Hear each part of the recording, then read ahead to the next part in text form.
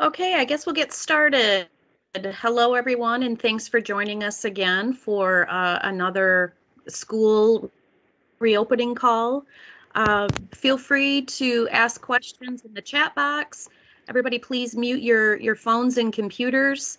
And um, Dr. Morse, I see you're there, so we'll we'll start off with with your updates. Thank you. All right. Let me share my screen.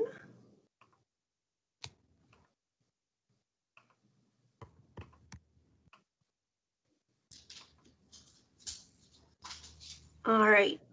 You can see in here okay? Yeah, I can. All right. So I'm going to start like usual. Um,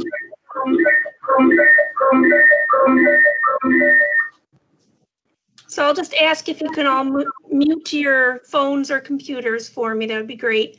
Um, we'll start by going over questions that have come up over the week frequently, things that um, we've gotten calls or questions about.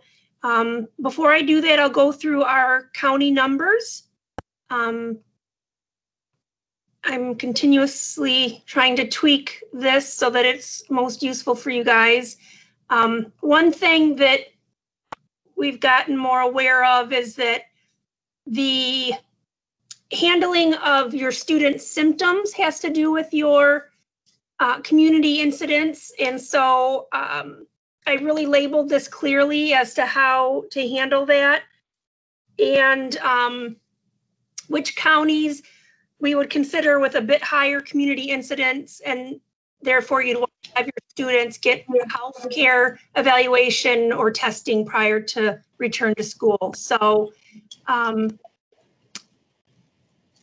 we'll send this out to everybody after our talk today. Um, I'm trying to see, I'm not very good with Excel, but I'm trying to do better. Um, but this first bracket here is our lowest risk counties. And again, I listed people by both percent positivity and then separately by cases because most counties are different. They might have higher cases, but lower positivity so really anyone in these groups are pretty low risk. Um, so we got Lake, Gladwin, Crawford, Kalkaska, Missaukee, Osceola, Oceana, uh, Mason, Gratiot, Mecosta, Roscommon, Montcalm, Newaygo, Clinton, Wexford, Manistee, Clare, and Arenac are all under 3% positivity the, in these last seven days. I left what you were the previous week here in, in parentheses, so you can kind of see as a comparison. Um, Lake and Crawford haven't had any cases. Um, Oceana's better. Look at that. They were at 1.4, now they're at 0.7. Can you mute your computer or phone, please? All right, and then down into the the next level of risk. Um, the state of Michigan on average is around 3%. Isabella County is at 6%. Again, we've really looked at this. It really is related to an outbreak that's still ongoing related to CMU. Um, we are not seeing cases that we feel would increase risks for the K through 12 schools. We are really watching this, um, but at this time, we're really feeling that this is isolated to the university at this point. Um, so Oceana, Manistee, Kalkaska, Roscommon, and Osceola have um, slightly higher cases per million. But again, given the population, cases per million in these instances are usually less than one a day. Um, but this is still considered medium risk and still considered um, appropriate to have in-person school. This line here and below is where we start to consider it a bit higher risk in the community for spread. So if you have students calling in with symptoms, if you are listed in this at all, um, we would recommend if your students have symptoms, following that algorithm on page seven in the toolkit, that those students should have some kind of evaluation before returning to school. So we don't have anybody with this high of positivity. with these, I actually then in parentheses besides the county, um, put the average number of actual cases per day just to give you an idea. Because again, like if you look at Wexford, it's 21.6 cases per million, but that's less, you know, it's about one case per day.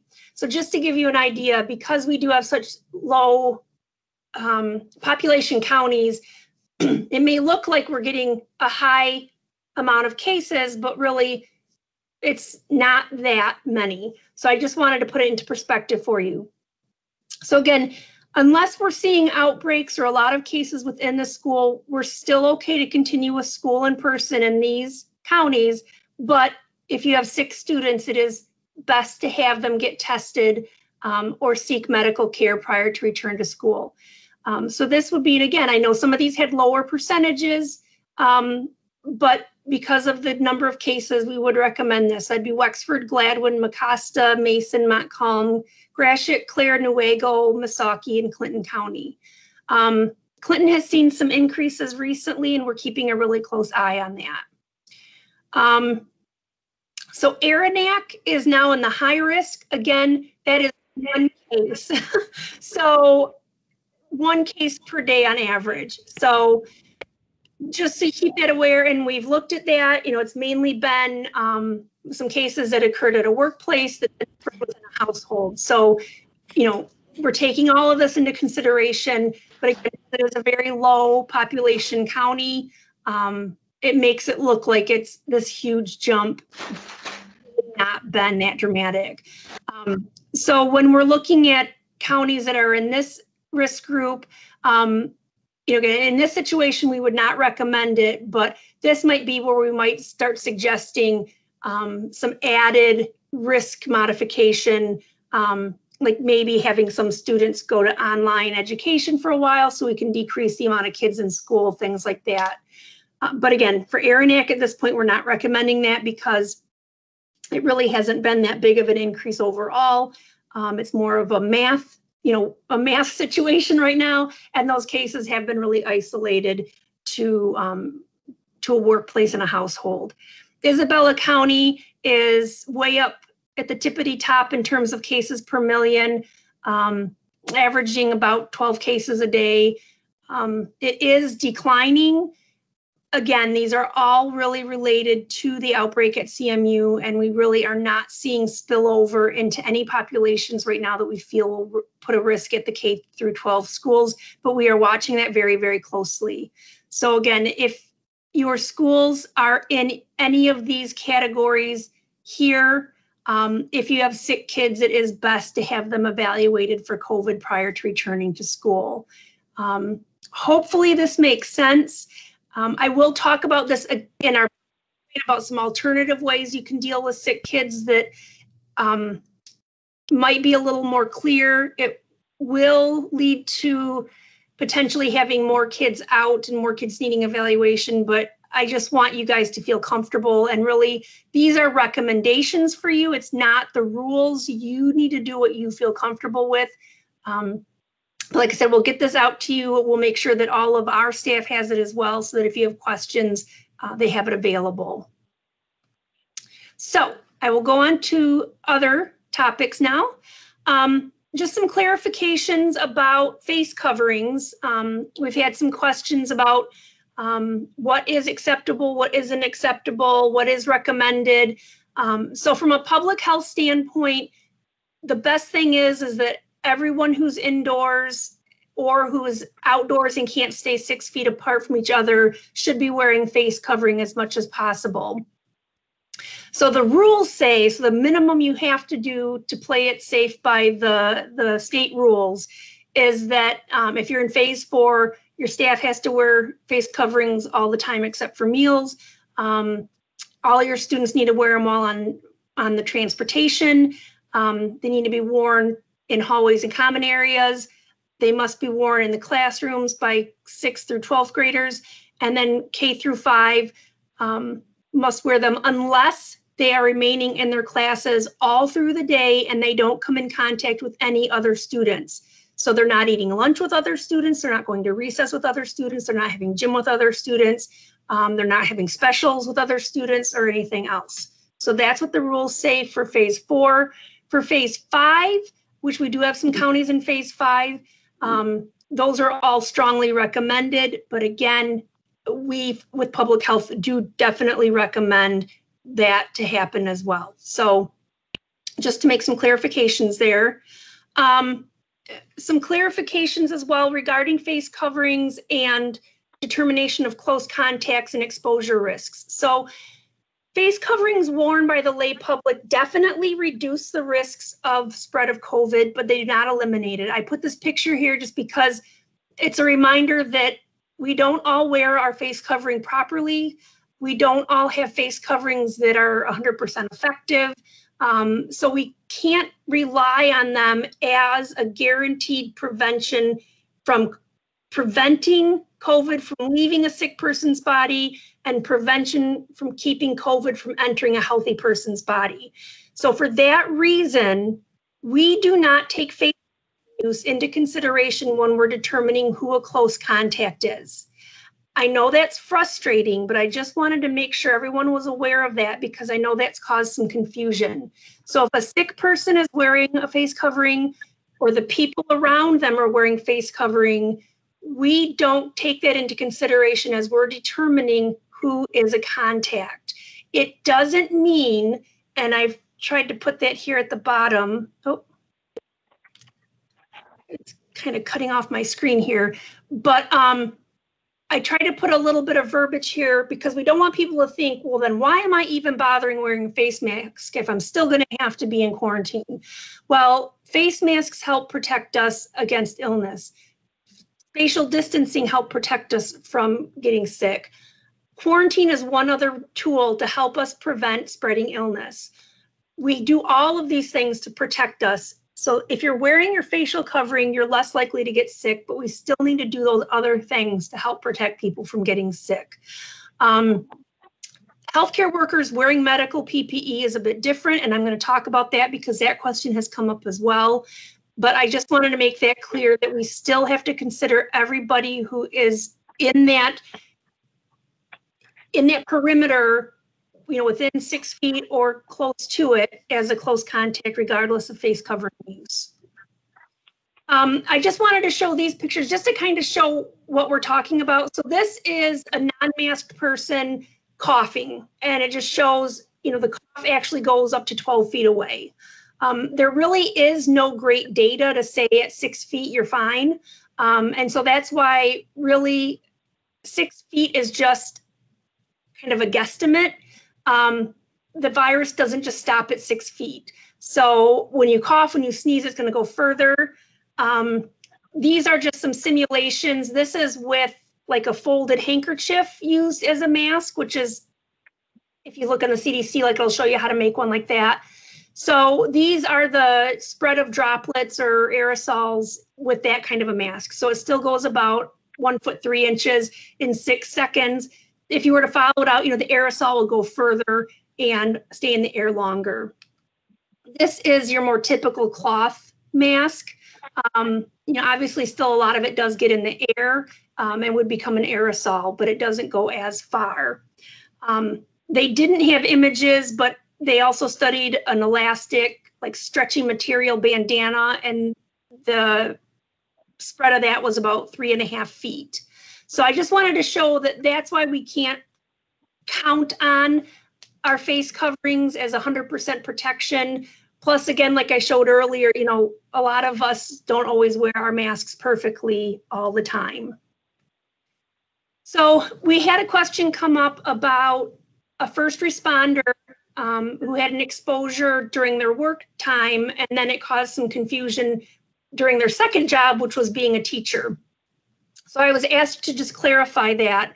Um, if a healthcare provider or a first responder or anyone working in those types of field, um, if they were exposed to a COVID infected individual and they're wearing medical grade surgical procedural mask or surgical mask, um, or a respirator like an N95, and they've been educated how to wear it properly, and if the sick person was not wearing a mask themselves, if they were wearing proper eye protection, it's like a face shield, um, and if heaven forbid they had to do what we call an aerosol generating procedure, which could be intubating somebody, um, in that case, if they're wearing full PPE, everything that they need, um, if they're doing all of that correctly, then the risk of them being exposed is so low that we do not consider them a contact and they don't need to be in quarantine.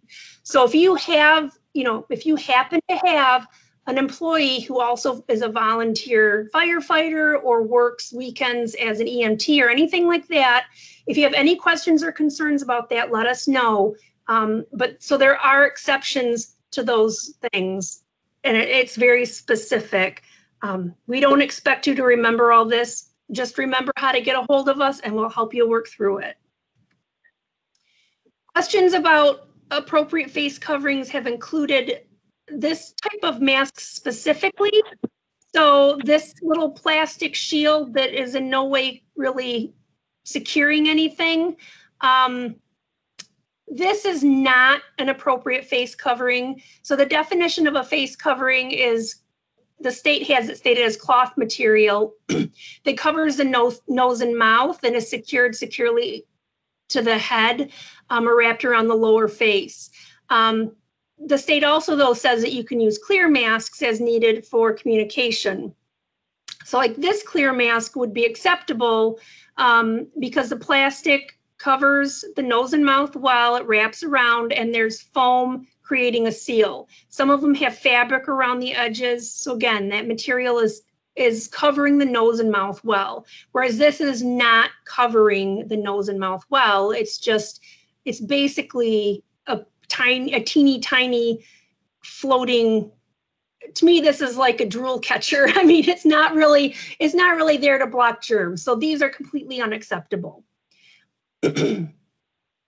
we also had a report from one of our nurses a school had said that a student falsely claimed that they were infected with covid and you know calls to mom and to the health department confirmed that the child was not infected um, so i just wanted to bring your attention to that I'm sure some of you thought about that happening um, and have kind of thought about what to do with that. So I would, oh, somebody's not on mute. Can you guys please check and make sure you're all on mute for me? That'd be great. Thanks. Um, so obviously that is a huge issue. So I would encourage you, if you've not already, to have a really clear policy and make it very well known to your student and your staff if you're worried about them that you'll have a zero tolerance on that that if they falsely um, report having covid or being in close contact with someone with covid there will be serious punishment or repercussions because that obviously will cause you a lot of um, hardship and stress um, so we've had some questions and, and clarifications needed about close contacts. Um, so again, like I just mentioned, there really is no magic number with the six feet. That's what's in everything. Um, in our toolkit, it does say that the close contacts are most often defined as six feet um, for at least 15 minutes, but every case is different and we need to look at each case. Um, so if someone's sitting at six and a half feet for an hour a day for six days while someone's contagious, that frequency and duration may be enough for us to say, gosh, we really should have that person in quarantine. Um, the other thing would be, you know, if there's any sharing of items, any touching, hugging, things like that. I mean, all those things are important. So we've had some discussions where it's just, you know, if there's, if it's if that desk is six foot one inches apart, then there's just not much discussion about it being a close contact. So I just want to have a discussion about, um, you know, working with us on close contacts and contact tracing. Um, I'm sharing this illustration again. Um, I heard it was useful and I wanted to share a better copy of it. Um, just a reminder that contacts of contacts are not contacts and you don't have to notify them. They don't need to be in quarantine. Um, so I know that's really a, an issue that comes up quite a bit. I also went through and I borrowed some images from those toolkits from Oregon and did some copying and pasting here um, just to help better illustrate and demonstrate some things. So basically, if this blue student, which blue is kind of a good color, so the blue student is sick. Um, we would work with the school to determine the close contacts, but most likely it would be everyone within this bullseye here, this red area. So this red student would be a close contact. That individual rode on bus number two, but nobody on this bus is going to have to be in quarantine um, because a contact to a contact is not a concern. If for some reason over the 14 days, this contact becomes ill, then we'll do contact tracing. The odds of a close contact getting ill is anywhere from, you know, 0% to upwards for household contacts, it can be up to about 50%. Um, but for classroom contacts, we don't really know the percentage of that, but it's usually quite low. Um, so again, the odds are is that this person will not get sick, so we don't need to worry one bit about these bus um, companions. So hopefully that illustrates it a bit better. Um, and you can feel free and use this if you need to to help explain it to others. So notification of close contacts and others in the school. Um, so just to clarify, and I clarified this with my three health departments just to make sure we're all on the same page. Um, and so we all know who's doing what. So if there is a case, we will work with you and the school will work with us to help identify who those close contacts are the close contacts are going to need to stay home in quarantine. And so the health department, once you tell us who they are, we will contact them, basically their parents if it's students, but we'll contact them to get proper education. Now, realistically, you know, if that person's at school, you may be contacting them first because you might have to call mom to come pick them up. So we'll call them and educate them as soon as we can. That will be our role, but it might be possible that you get a hold of them first. If that happens, tell them the health department will be calling you, but we should be in touch with them within 24 hours. General notification to the rest of the school will typically be done by you. So we've given you a form letter you can send out um, some of you use like general phone blasts or texts or Facebook or however you prefer to do it, because that, that will typically be much quicker. We are happy to provide you with a similar form letter on our letterhead if you would prefer, but that may take longer. So basically, we'll notify the close contacts. You will notify everybody else that you feel should be notified. Um, and if we, if you want to do anything differently, just work with us and we'll do that. Um, so again, if there's any confusion or or um, you need or want to do anything differently than that, just let us know. We did find out that the state does plan to start listing the names of schools um, that have had outbreaks and identify them on the state website starting next week. Um, this was not our decision, that was the state's decision. Um, and so for us, you know, an outbreak will most likely be defined as two or more confirmed cases that have developed within 14 days of each other that are linked through the school only. So they've been in the same classroom, they've been somehow connected to each other within the school, they are not in the same household. They you know aren't on the same boy scout troop. They you know don't have some other common connection that could have been the source besides school. Um, so we want to be really sure that we're only reporting outbreaks that we know for positive positive are from their interactions at the school. Now handling six students i mentioned this earlier um, when we went through your numbers. But if you look at page seven of the toolkit, there's this box here after you have symptoms.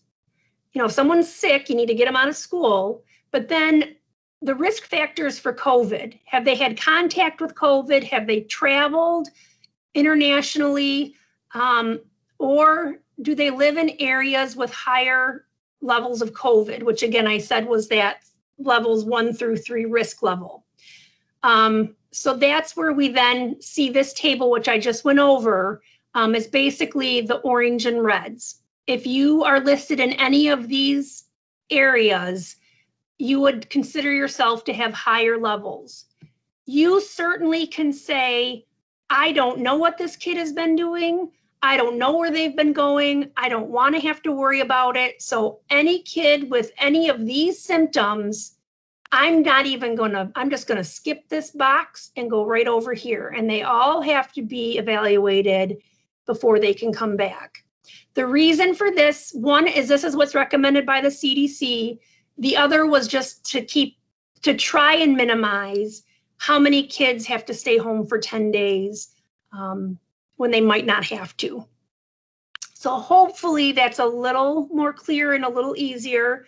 The alternative would be um, using this uh, set of flow sheets. It's from Oregon. Again, it's really, really detailed. It is like 20 pages long.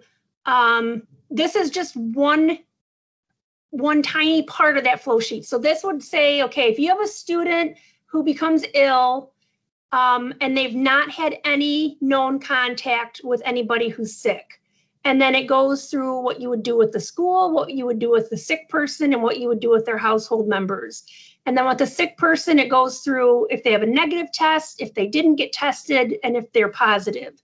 So if they if they didn't get tested, you'd go to scenario 4A. So 4A um, says, okay, if they have respiratory symptoms, they need to stay out for 10 days.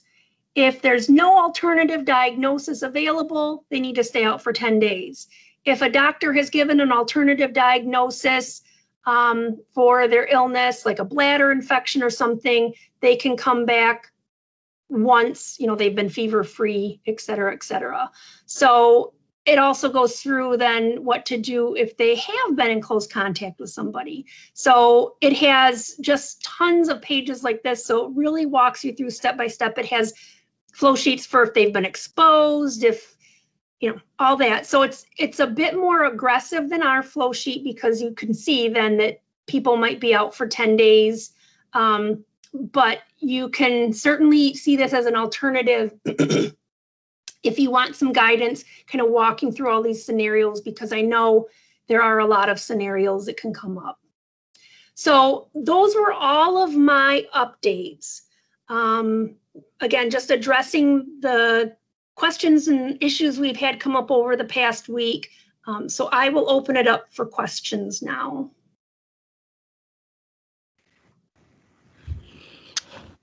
Thanks, Dr. Morse. We'll go to the chat box. We can see there's already several questions there.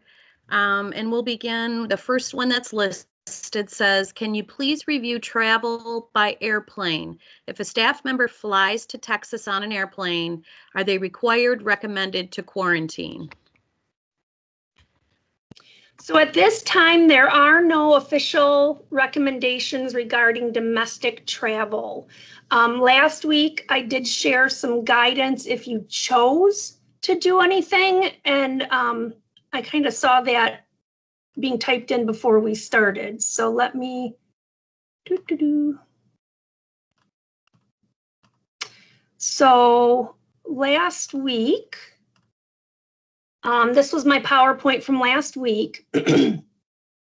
so for domestic travel, again, there's no specific recommendations if you wish, there's a website called globalepidemics.org and they have nice a nice map. You can look either at all of the counties in the US or just the states in the US. If there's an orange or red state, those are states that have really high um, ongoing incidence of COVID. If you want to set some kind of parameters at your school, like your HR department decides that's a good idea, you can choose to do that. But that would be your own choice. And I encourage people to talk to their HR director and lawyer about that. Um, but currently, there are no official guidelines.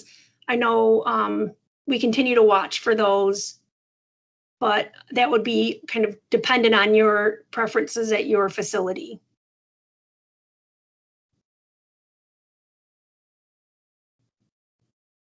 Okay. Next question says, when specifically do we need to have students that have one symptom go to the doctor according to the mystartmap.com data? So again, um, let me pull up our flow chart here. So if you go to your flow chart, if your student has a fever over 100.4 or they have signs of a fever, if they have a sore throat, if they have a new uncontrolled cough that's causing shortness of breath, if they have diarrhea, vomiting, or abdominal pain, or if they have a new sudden severe headache, which I know that one's a little bit difficult, um, and you are in a county that is in the medium high, high or very high risk for community spread, those individuals should be evaluated by a physician and or be tested for COVID. So that flow sheet is in the toolkit on page seven. Dr. Morse, can I ask for a little more clarification on that? Mm-hmm. So when I go there, um, and, and we had some conversation um, through one of your employees yesterday. Um, I'm, we were told yesterday we're looking at the test results for our county for positive test, and that's the number we should be looking at to make that determination. But I feel like you shared with us we should be looking at new cases and the category that we log in there. So I'm just looking for clarification Sure. on which data we're supposed to be choosing to make make that Yeah, decision. and I know I've talked to a few nurses this week about that question. And so my, fe- there's two different indices from that map. There's the percent positive and then there's the cases per million. Um, in terms of like a student's risk for exposure, my feeling is better safe than sorry. And so my feeling would be if you have either one of those indices in the medium high to very high category, it's best to assume, okay, our community spread could be high enough that this student could have.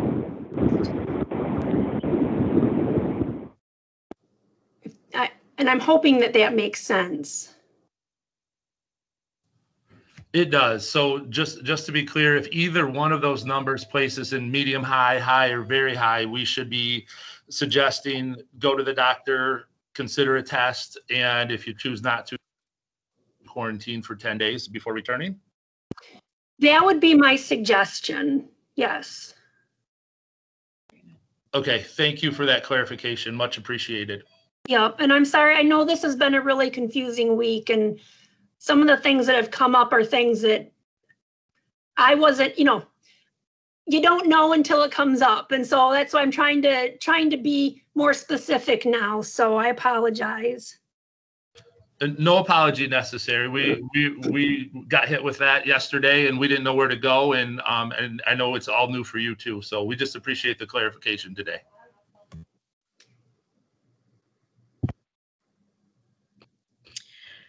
All right, next question. Governor Whitmer just changed the symptoms list last week. Will the health department then revise the employee screening form? Well, our employee screening form was made with the guidance of the state based on what they changed the My Symptoms app screener to. So I was not aware that they had made any other changes, but ours was specifically made with guidance from the state. So I guess I'll have to look into that and see what they did to it. The symptoms didn't change, Doc. It was the, um, you know, the that one executive order that caused all the confusion about whether people needed to stay home and whether it was one symptom or two symptoms, that's what changed. Okay. Yeah, so the, the symptoms that we use are the same ones that trigger someone to be told to stay at home if they're using the state's My Symptoms Tracker app. Um, And so my assumption is, is it's still the same as that. But Penny, if there's something different, um, feel free to email me and I'll look into it.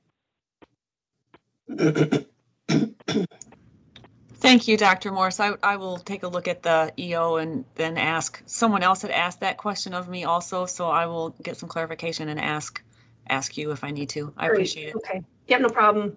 I can't keep up with all the EOs. I understand. All right, we'll move on to the next question. When looking at Isabella County case per million, Uh, does this include the population of the students plus the true population or just the true population of Isabella County? That is a really good question, and I never thought of that. So, um, the student cases are being counted as Isabella County cases because they occurred there. But as you know, the majority of them are actually residents of another county. So no, they're not counted. So when you're looking at your denominator of the county population, no, they're not part of that. So that is a good point. Um, you know, it's only an extra 200 or 300 people. Um, but you know, the huge amount of extra population that comes in with electricity every year is not counted in that population. Um, you can correct me if I'm wrong, but that that is a good point. So we're counting cases as our county's cases, but they're not being they're not part of our county's population.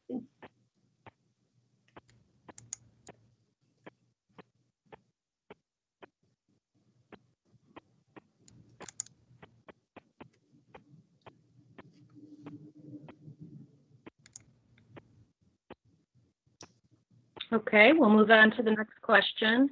If a person goes out of the state for the weekend, do they need to quarantine when they return? There are no guidelines to that effect. So again, only if your organization decides to make those guidelines, but there's no public health guidelines for that. So no.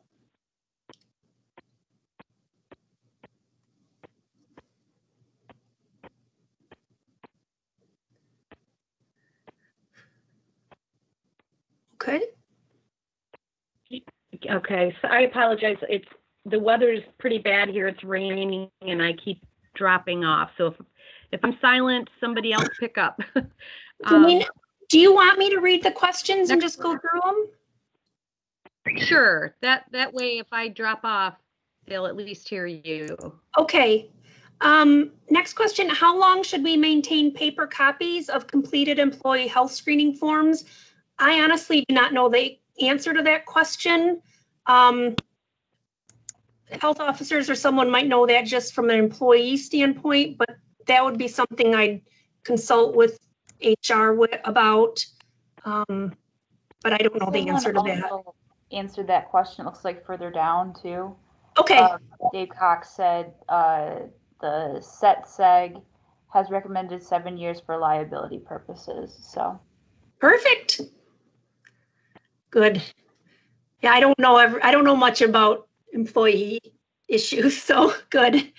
Um, if a parent tells a school they themselves are getting a COVID test, do we, the school, have the right to ask if it was positive? Um, if yes, then do we, the school, need to ask the student to stay home?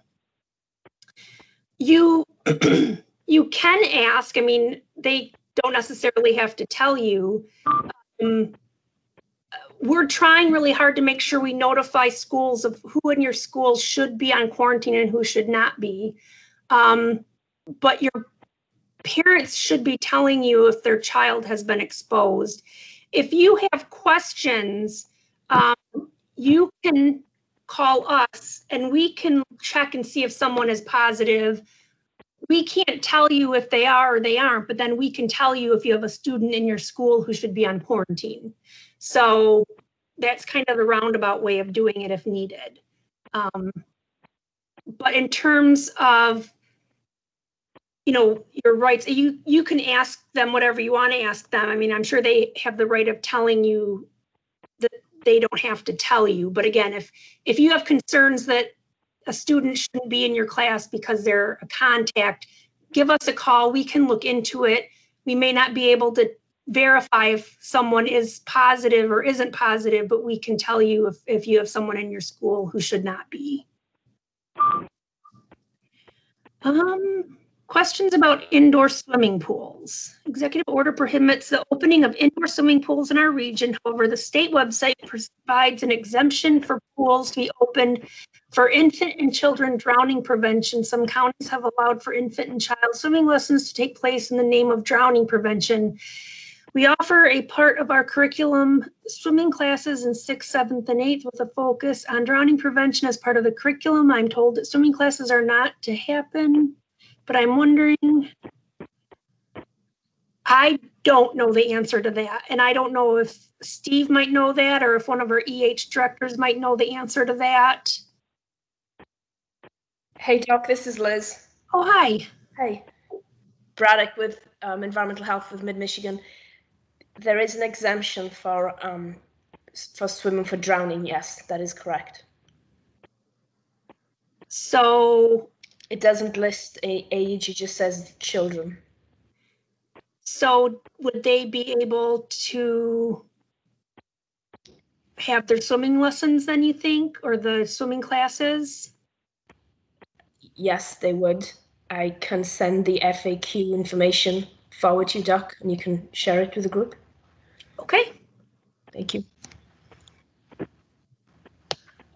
We currently have staff who've made plans to travel out of state or internationally. Um, so again, I shared that on my talk last week. Um, let me see if I can, I'm gonna put that slide.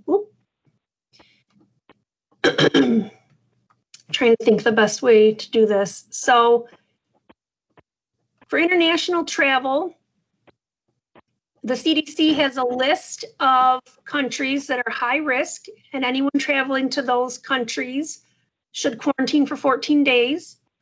Anyone who's traveled internationally or domestically as well, if they've done anything high risk, which is um, being in an area of high levels of COVID, going to a large social gathering, attending a mass gathering, being in crowds, or traveling on a cruise ship or riverboat um, should take extra precautions. Um, and that could include staying home. So again, it's not an official recommendation, but you could consider that. Um, and then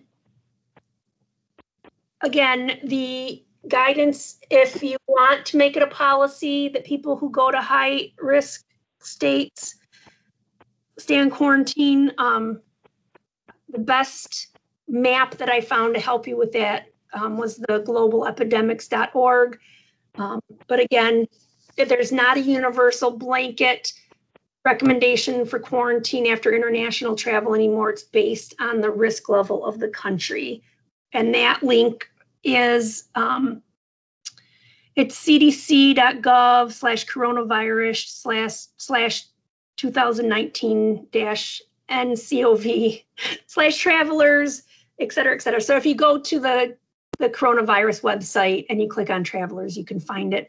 Plus it was in my PowerPoint from last week, which is on our websites. It was slide five, has all that information. So we should be using the new cases data.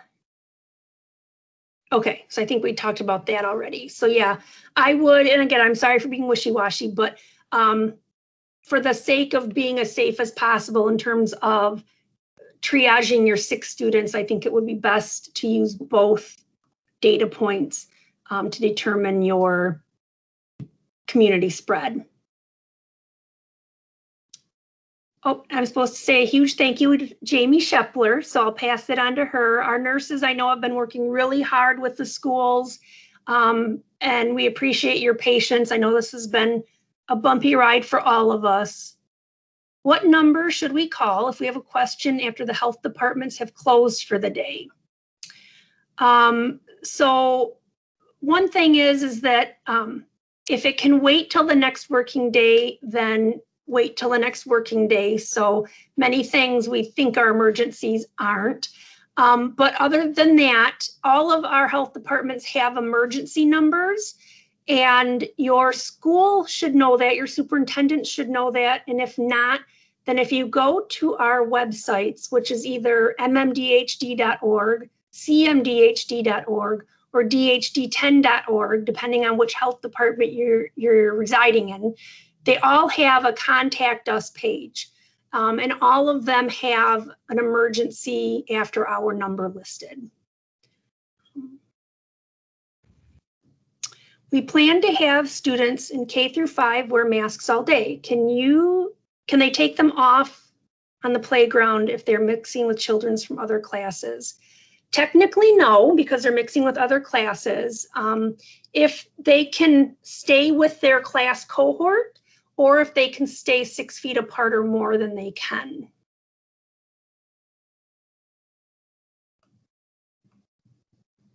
So in Isabella County, if we have a child with a high fever or other symptoms, they should go to the doctor or have a COVID test, correct? Yes, that is correct. I think that is all the questions we have right now on the chat.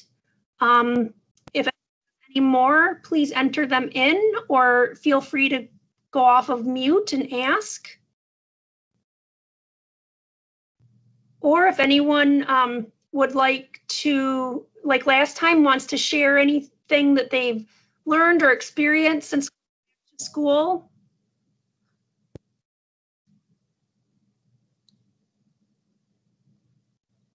Or if there's anything you would like us to know to make things work out better. Happy to, I would always love to hear that.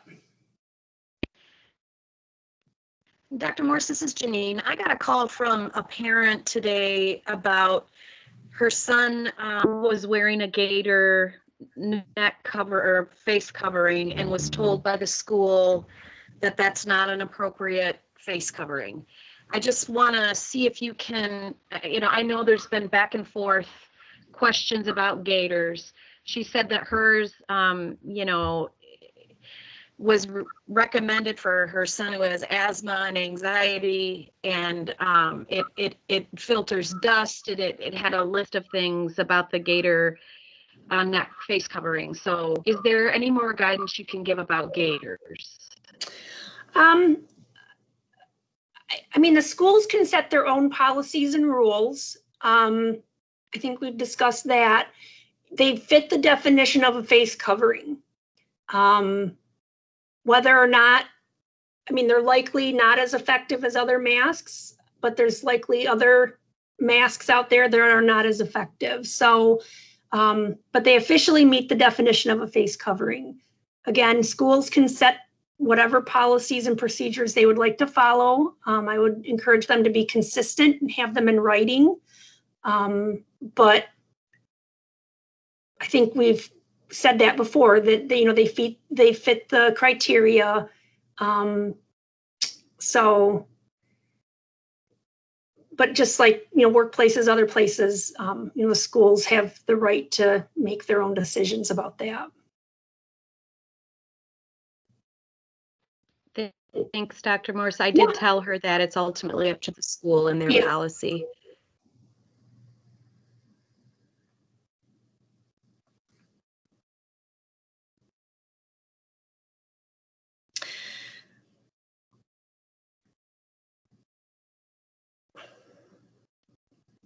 Well, we will get those numbers out and post everything like usual. And if there's anything else, make sure and let us know. there Oh. is one more question dr morse Are folks from the health department willing to come out and do a walkthrough with the school district? We have made plans. The situation is ever changing.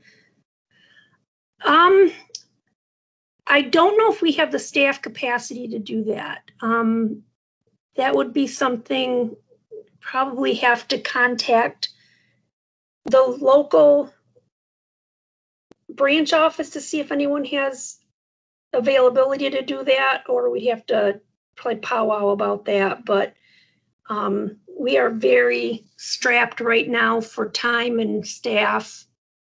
But, I mean, it's something we could talk about. Yeah.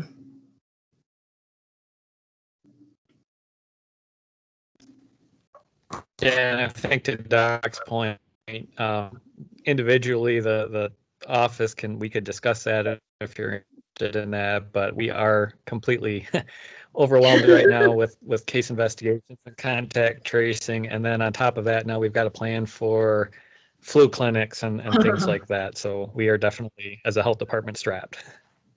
Yep. All right. Any other questions, comments, sharing, feedback, concerns? If not, we'll give you back 10 minutes of your day.